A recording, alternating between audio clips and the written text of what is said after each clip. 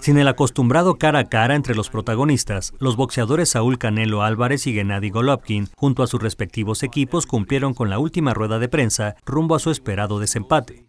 Ambos pugilistas se vieron las caras en el teatro Keia del MGM Gran Hotel, pero nunca estuvieron frente a frente, lo que se espera que hagan este viernes en la ceremonia de pesaje.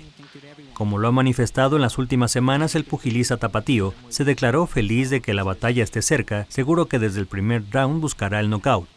Ya realmente estoy listo, me preparé muy bien. El sábado 15 de septiembre está a la vuelta de la esquina y como ya saben, nunca, nunca en mi vida en lo que he tenido de, peleador me ha gustado hablar. De la misma manera lo digo, el sábado me voy a subir a ganar solamente. Hice mi trabajo, voy a hacer mi trabajo arriba del cuadrilátero y que la, que la gente disfrute de una gran pelea, de una gran victoria para todo México. Golovkin, quien pondrá en juego sus títulos de peso medio del Consejo Mundial de Boxeo y de la Asociación Mundial de Boxeo, dijo que nunca le ha gustado hablar antes de la pelea, él está listo y su rival también. En la conferencia estuvo presente Mauricio Sulaimán, presidente del Consejo Mundial de Boxeo, quien luego de presentar el cinturón chiapaneco que estará en juego para el vencedor, comentó que la pelea será recordada por muchos años.